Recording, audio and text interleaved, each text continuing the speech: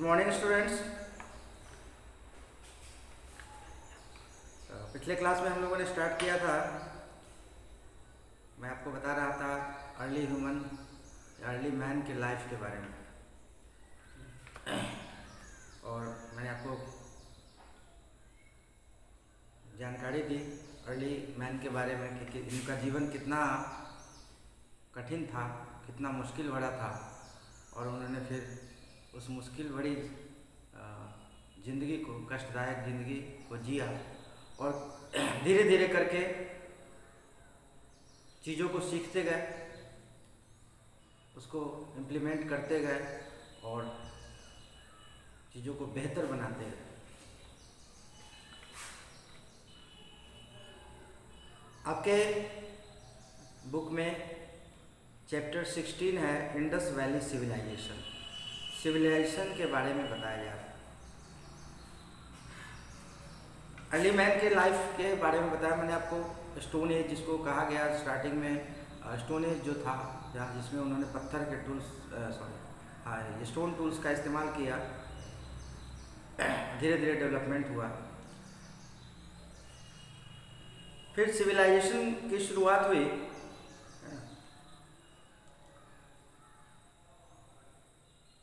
तो आपके बुक में जो है सिविलाइजेशन की का चैप्टर दिया गया है।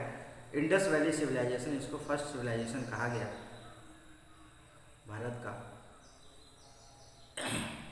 उसके बारे में आपको पढ़ना है चैप्टर सिक्सटीन है। तो थोड़ी सी मैं आपको, मैंने आपको जानकारी दी और चूँकि चैप्टर है आगे सिक्सटीन चैप्टर है। हम लोगों ने ट्वेल्थ तक पढ़ा है आप जानते हैं। थर्टीन फोर्टीन फिफ्टीन बीच में।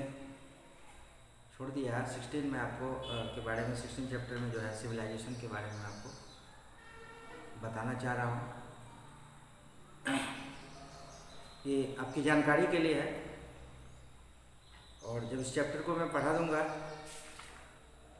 तो इससे रिलेटेड कुछ ऑब्जेक्टिव क्वेश्चंस को आप कर पाएँगे। क्वेश्चन आंसर फ़िलहाल इसका नहीं कराया जाएगा अभी, लेकिन इस चैप्टर को आपको मैं आज स्टार्ट करता हूँ। इंडस वैली सिविलाइजेशन है, इसके बारे में हमें पढ़ना है।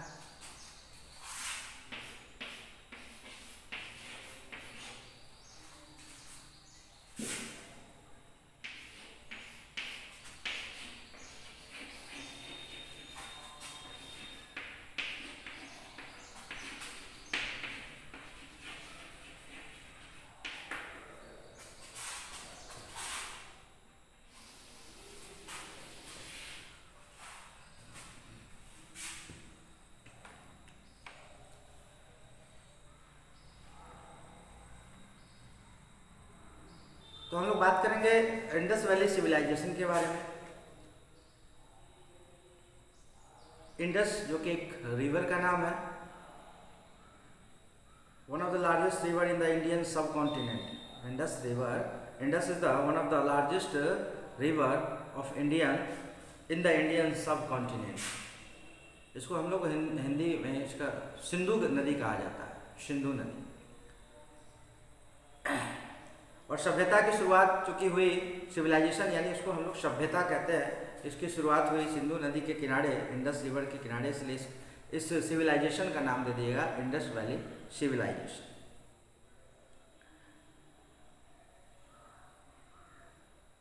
और इसकी शुरुआत हुई 3000 टू फिफ्टीन हंड्रेड 1500 1500 बीसी में।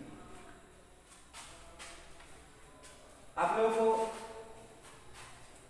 बीसी और एडी के बारे में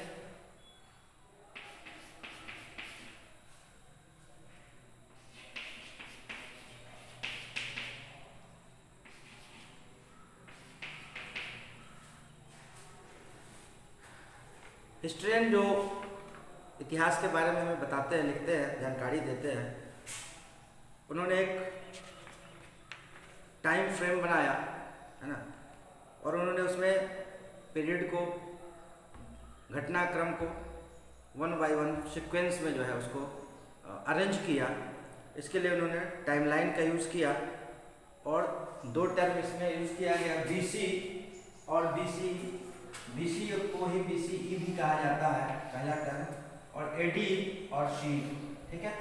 बीसी का मतलब होता है बिफोर क्राइस्ट है ना? बिफोर क्राइस्ट और बीसी बिफोर कॉमन एरा ठीक है? एडी एनोडोमनी और कॉमन एरा ठीक है? तो ये टर्म उन्होंने यूज़ किया टाइम को इंडिकेट करने के लिए ना? जो पीरियड जो था उसको इंडिकेट करने के लिए कि इतिहास में हिस्ट्री में कौन से घटनाक्रम, कौन, कब कब हुई तो इसको दर्शाने के लिए उन्हें ज़रूरत थी और उन्होंने इसके लिए टाइम लाइन का यूज़ किया, है ना? सिक्वेंस में इसको यूज़ किया।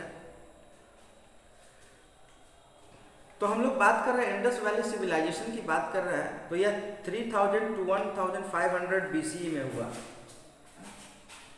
इंडस वैली सिविलाइजेशन जो है वो 3000 to 1500 BC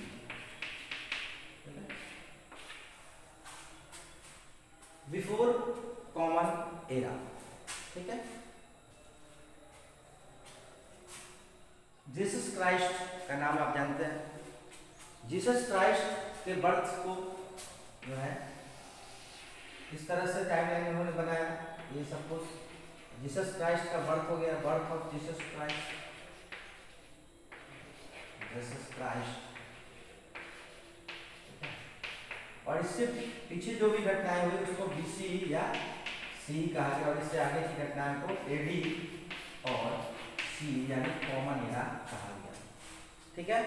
तो यह जो घटना, जो सिविलाइजेशन की शुरुआत हुई इंडस वैली सिविलाइजेशन की, वो इधर है ना? बैकवर्ड बैकवर्ड काउंटिंग होती है हम लोग काउंटिंग करते हैं। जैसे यहाँ पे हमने लिखा three thousand to one thousand five hundred यहाँ पे हमें आगे बढ़ना चाहिए, हम बैक में जा रहे हैं। तो ये काउंटिंग जो होती है ईशा प्रूफ जो काउंटिंग होती है बर्थ ऑफ़ जीसस क्राइस्ट यानी इससे पहले जो भी काउंटिंग होती है बैकवर्ड होती है।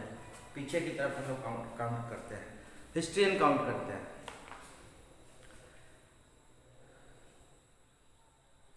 सिविलाइजेशन यानी सभ्यता कहते हैं इसको हम लोग।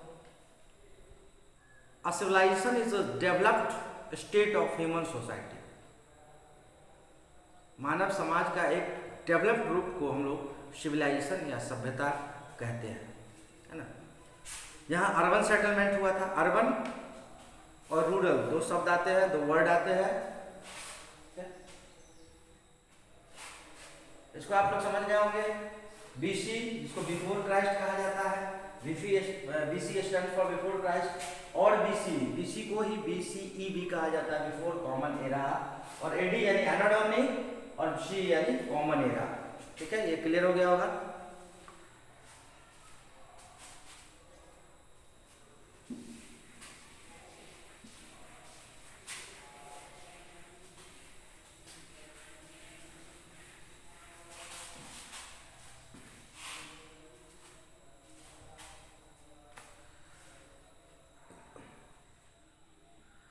तो हम बात कर रहे थे सिविलाइजेशन की, यानी सभ्यता की।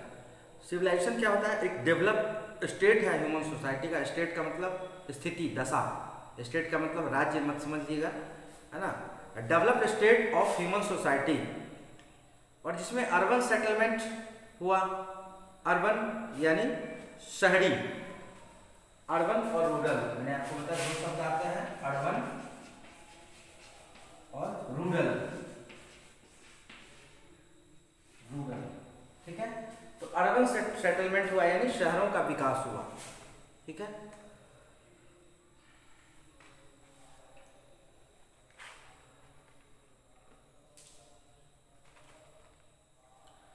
तो हम यहाँ पे बात कर रहे हैं इंडस वैली सिविलाइजेशन की।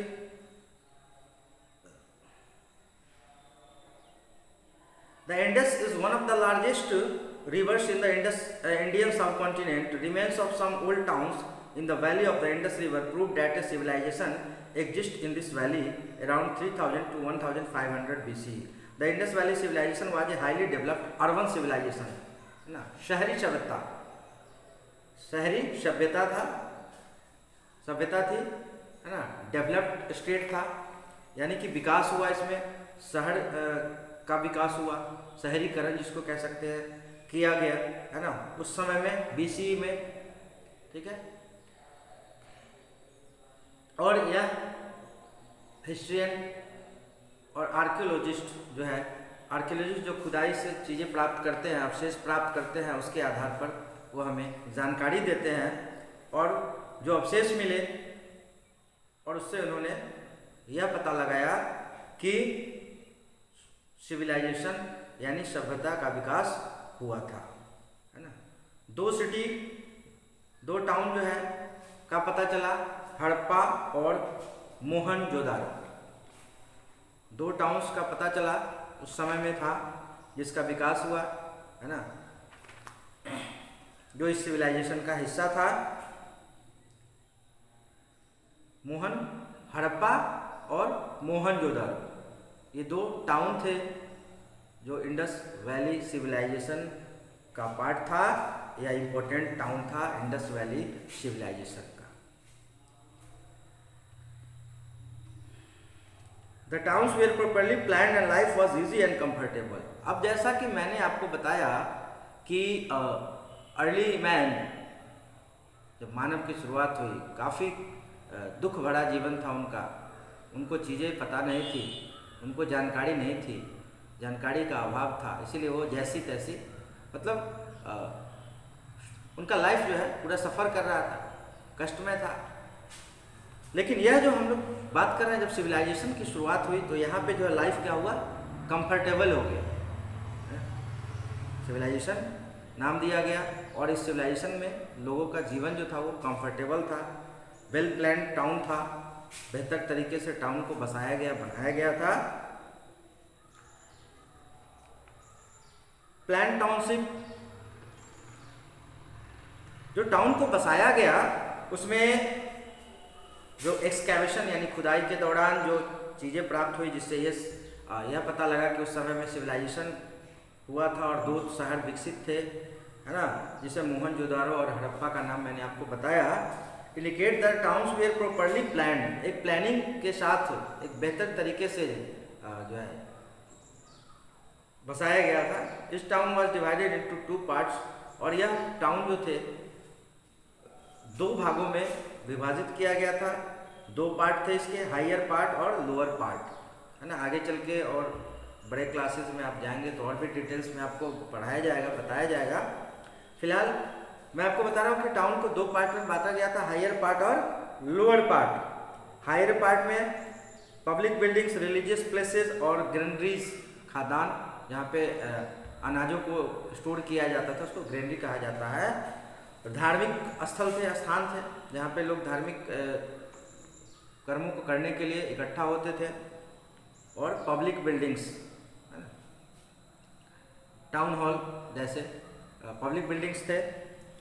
लोअर पार्ट में कॉमन मैन रहते थे, ठीक है? जो अपर पार्ट था, उसमें हायर सोसाइटी के लोग रहते थे। और लोअर पार्ट में कॉमन लोग रहते थे।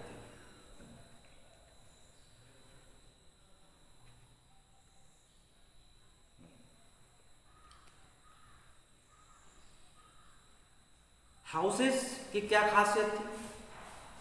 इंडस वैली सिविलाइजेशन के जो टाउन्स थे, उनके हाउसेस की क्या खासियत थी? कैसे घर बनाए जाते थे?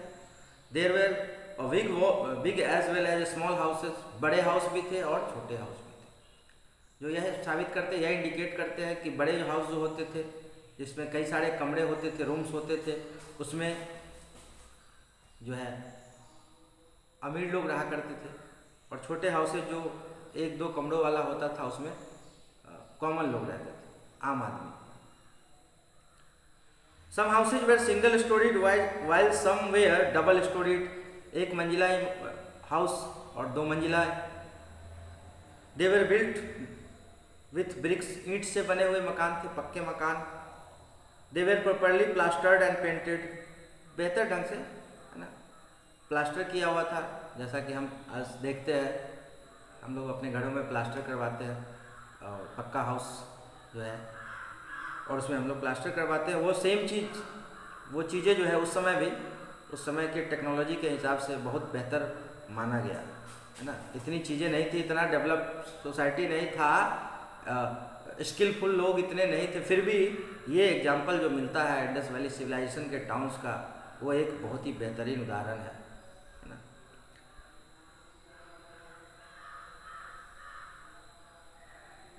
the houses were built with bricks were properly plastered and painted there were staircases leading to the roofs of the houses सीढ़ियाँ बनी हुई थी छत तक जाने के लिए। Most of the houses had courtyards बहुत सारे घरों में आँगन भी था। है ना kitchens bathrooms and toilets irrespective of the size of the house. The doors of the house opened into a single courtyard. जो दरवाजे खुलते थे घरों के, वो एक सिंगल कोर्टयार्ड यानी सिंगल जो आँगन होता था, उसमें खुलते थे the windows open up into the streets और खिड़कियाँ जो है गली की ओर खुलती थी तो बीसी में, यानी बिफोर कॉमन एरा में भी जो मकान बने हुए थे वेल प्लानिंग के साथ बने हुए थे, इसीलिए इसको डेवलप्ड स्टेट कहा गया है। है ना? ह्यूमन सोसाइटी सिविलाइजेशन को ह्यूमन सोसाइटी का डेवलप्ड स्टेट इसीलिए कहा गया है कि वेल प्लानिंग के साथ टाउन को तैयार किया गया था। दो टाउन को दो पार्ट में बांटा गया अपर टाउन और लोअर टाउन यहाँ पे कह रहा है हाइयर पार्ट और लोअर पार्ट कह रहा है है ना? जिसको अपर पार्ट और लोअर पार्ट भी कहते हैं। अपर पार्ट जो था, मैं आपको बता दूँ उसको सीटाटेल नाम दिया गया था, है ना? दूसरा पार्ट जो था, वो लोअर पार्ट था जैसे। ठीक है?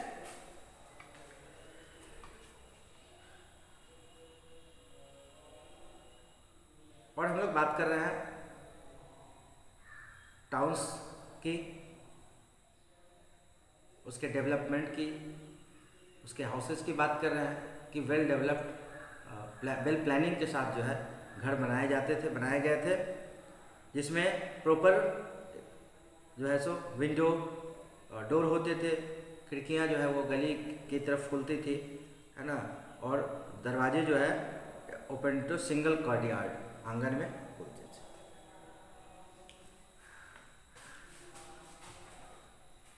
प्रॉपर ड्रेनेज सिस्टम भी था, है ना? इन सिटीज़ में proper drainage system underground drainage system which gave the city a neat and clean look underground drainage system यानी कि जो नाले बनाए जाते थे, पक्के नाले बनाए जाते थे, जिससे पानी जो जाता था, बहता था, जो वेस्टेज जो होता था, पानी इस्तेमाल करते थे लोग, वो नाले से होकर अपना गुजर जाता था और बिल्कुल साफ़ सुथरा, क्योंकि ऊपर से उसको नाले को ढक दिया जाता था, है ना? मतलब सारी चीज़ें प्लानिंग के साथ की गई थी।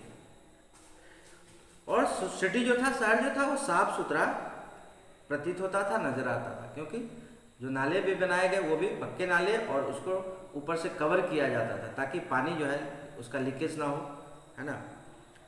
The drains started from the bathrooms of the houses and joined the main sewer in the street which was covered by brick slabs और ब्रिक स्लैब से उसको ढक दिया जाता ठीक है?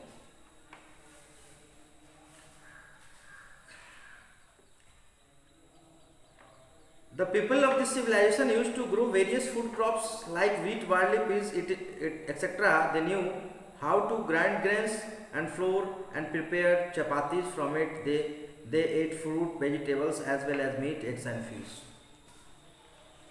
अब मैंने आपको बताया इन सिटीज़ में हाउसेस वेल प्लानिंग के साथ बनाए गए थे बेहतर तरीके से पक्के मकान बनाए गए और सारी सुविधाएँ उसमें थी उस ज़माने के हिसाब से, उस टाइम के हिसाब से, है ना?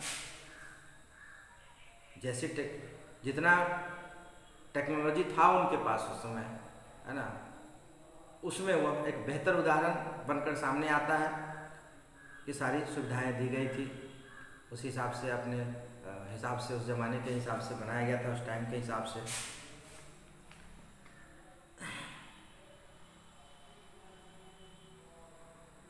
भोजन के रूप में सिविलाइजेशन के लोग इंडस वैली सिविलाइजेशन के लोग, कई तरह के फ़सलों को उगाते थे, खेती करते थे उनकी, जिसमें वीट बार्ली पीस वगैरह आते हैं। और यह गेहूँ को पीसना भी जानते थे, उससे आटा तैयार करते थे और आटे से रोटियाँ तैयार करते थे। इसके अलावा वो फल, सब्ज़ियाँ मीट, अंडे, मछलियाँ, ये भी खाते थे। क्लॉथ्स कपड़े की अगर हम बात करें they also grew cotton and use it to make cotton clothes cotton की खेती करते थे और उससे यह कॉटन के कपड़े तैयार करते थे, सूती कपड़े तैयार करते थे। They were expert in spinning and weaving cloth कपड़ों को बुनने में यह एक्सपर्ट थे, दक्ष थे, इनको कपड़े बुनने की कला अच्छी तरीके से आती थी। Apart from cotton cloth they were woollen clothes too cotton clothes के अलावा, यानी सूती कपड़े के अलावा ऊनी कपड़े का भी उपयोग करते थे ये। सिविलाइजेशन के लोग both men and women wore simple robes of cotton and piece of woollen cloth wrapped around their bodies with one shoulder bare people were fond of jewellery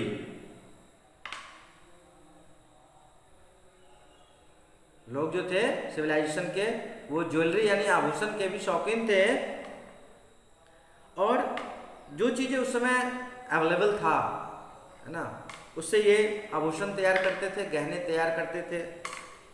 जैसे shells bones silver gold and ivory इन चीज़ों के आभूषण तैयार किए जाते थे, बनाए जाते थे। They also had combs and headpieces to decorate their hair अपने बालों को संवारने के लिए कंघी का इस्तेमाल करते थे और हेड पीस का इस्तेमाल करते थे।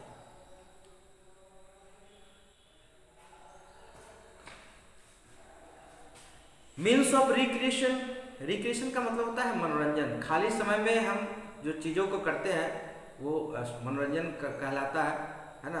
कई प्रकार के साधन मनोरंजन के लिए उपयोग में लाए जाते हैं, है ना? रिक्रिएशन में। Toys made of clay have been recovered from this cities they were in the shape of small carts dolls animals birds it The adult enjoyed themselves by singing, dancing, hunting, gambling and animal fights. Recreation क्या होता है? मैंने आपको बताया मनोरंजन जिसको कहते हैं। हम काम से थके हारे आते हैं। हम काम करते हैं वर्क करते हैं या बच्चे पढ़ाई करते हैं और जब थक जाते हैं है ना? तो वो थोड़ा सा ऐसा कुछ करना चाहते हैं जिससे फ्रेशनेस उनको महसूस हो अच्छा लगे, है ना? तो वैसी चीज़ें वो करते हैं और ऐसी इन चीज़ों को रिक्रिएशन कहा जाता है। जैसे बच्चे पढ़ाई से थक गए तो चाहते हैं कि थोड़ा सा खेल लें, खेलते हैं बड़े लोग किताबें पढ़ते हैं, कहानी की किताबें पढ़ते हैं या और भी कई तरह की किताबें पढ़ते हैं, टीवी देख लेते हैं बच्चे खेलते हैं, क्रिकेट खेलते हैं, फुटबॉल खेलते हैं, लूडो खेलते हैं, कैरम खेलते हैं तो ये सब रिक्रिएशन कहलाता है। तो इस समय में सिविलाइजेशन के टाइम की बात कर रहे हैं हम तो सिविलाइजेशन में बच्चे जो है, मिट्टी से बने हुए खिलौनों से खेलते थे, है ना? और यह प्राप्त हुआ खुदाई में के दौरान, इसको प्राप्त किया गया, और जो यह इंडिकेट करता है कि यह रिक्रिएशन का साधन था, है ना? जिसमें जो मिट्टी से प्राप्त, बने हुए जो खिलौने प्राप्त हुए, उसमें स्मॉल कार्ड्स बैलगाड़ी जिसको कहते हैं, गाड़ी कार्ड्स यानी गाड़ी, मिट्टी से बने हुए डॉल्स गुड़िया एनिमल्स बर्ड्स इत्यादि के फिगर जो है मिट्टी से बने हुए होते थे। द एडल्ट और ये बच्चे लोग इससे एंजॉय करते थे रिक्रिएशन का साधन था इनका। और जो एडल्ट पीपल होते थे, बड़े लोग होते थे बेस्ट होते थे। वह अपना मनोरंजन, गाना, बजाना, है ना, नाचना, इन चीज़ों से अपना मनोरंजन करते थे साथ ही साथ गैम्बलिंग एंड एनिमल फाइट्स ठीक है? एनिमल की फाइटिंग करवाते थे, है ना? नाचते थे, गाते थे और इस प्रकार से अपना मनोरंजन करते थे।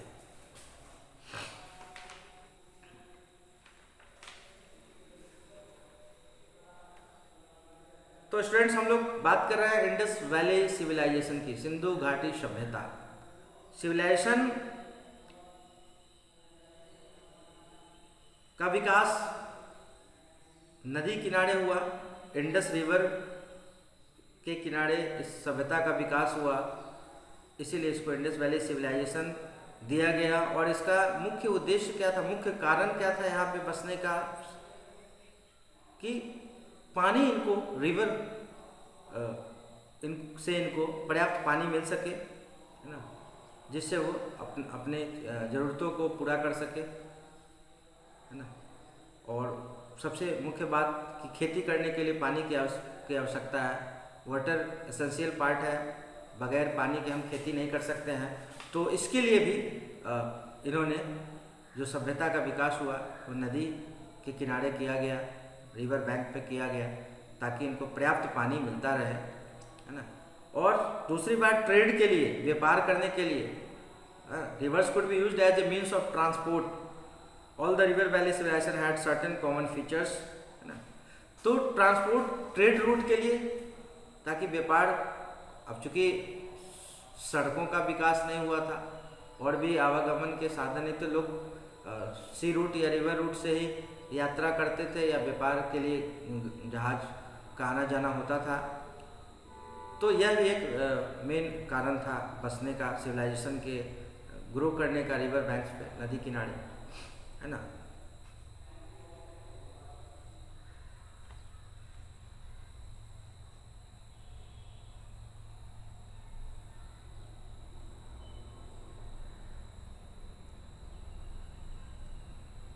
हम लोग आगे इस चैप्टर में और भी चर्चा होगी। आगे और भी चीज़ें बताई जाएँगी आपको इस सिविलाइजेशन इंडस वैली सिविलाइजेशन के बारे में। तो आज हम लोग अपने क्लास को यहीं पे समाप्त करते हैं। फिर हम लोग नेक्स्ट क्लास में आगे चर्चा करेंगे, है ना? रिलीजन ट्रेड के बारे में और फिर किस तरह से पतन हो गया सिविलाइजेशन का अंत हुआ, इसकी भी चर्चा हम लोग करेंगे। तब तक के लिए thank you and have a nice day.